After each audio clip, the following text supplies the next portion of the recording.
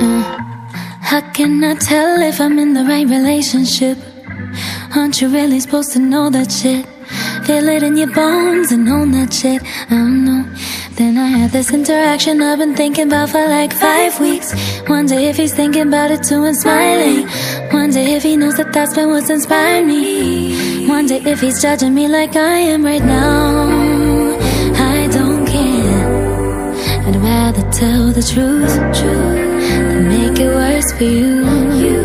Mm. If the sun refused to shine, baby, would I still be your lover? Would you want me there if the moon went dark tonight? And if it